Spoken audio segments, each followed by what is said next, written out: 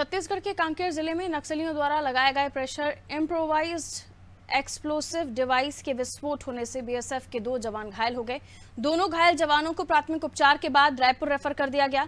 अधिकारी ने बताया कि घटना कोयलीबेड़ा पुलिस थाना क्षेत्र के 120 किलोमीटर दूर चिलपरस में बीएसएफ कैंप के पास की है। जब घटना हुई, उस समय बीएसएफ की एक टीम सड़क सुरक्षा अभियान पर निकली थी। विकास के लिए सड़कों की बहुत ज़्यादा ज़रूरत होती है। क्षेत्र में नक्सली बहुल एरिया क्षेत्र को माना जाता है और नक्सली बहुल होने की वजह से शासन चाहती है कि गांव-गांव तक सड़क के जाल बिछाए जाएँ। किंतु नक्सलियों को लगता है कि सड़कों के जाल बिछने के बाद से उनका जो सेफ़ जोन है, जंगली क्षेत्र है, वो उनको सिकुड़ते जाएगा और वो कहीं ना कहीं खतरे में आ सकते हैं। यही वजह है, आज नक्सलियों ने आईआईडी ब्लास्ट करके दो जवानों को घायल कर दिया है। आइए हम जानते हैं, हमारे साथ हैं इस वक्त एडिशनल एसपी खोमल सिन्हा।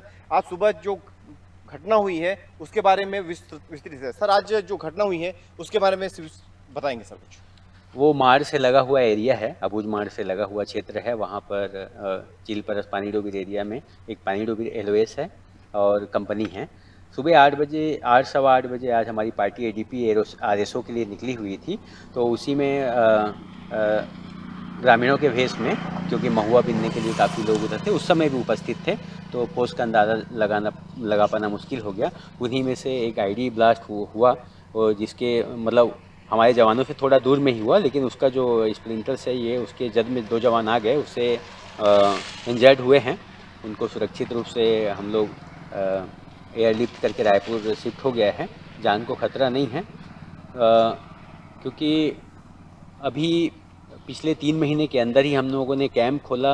उस एरिया में दो पुलिया बना, बनवा दिया है। एक पुलिया अभी मतलब कंप्लीट होने वाला है। एक हो चुका है। और सड़क का काम भी बहुत तेज़ी से चल रहा है। तो उस क्षेत्र में, क्योंकि वो उनका एक छत्र राज रहा है, उस क्षेत्र में काफ़ी अच्छा उनका होल्ड रहा है। अब वो ख़त्म होने वाला है। इसी की बौखलाहट कह सकते हैं। कुल मिला ये कह सकते हैं, नक्सलियों का जो क्षेत्र है, वो सिकुड़ता जा रहा है और उसके बौखलाहट वो इस तरह के कृत्य करके दिखाना चाहती है। मैं कैमरा पर्सन जयंत रंगारी के साथ जावेद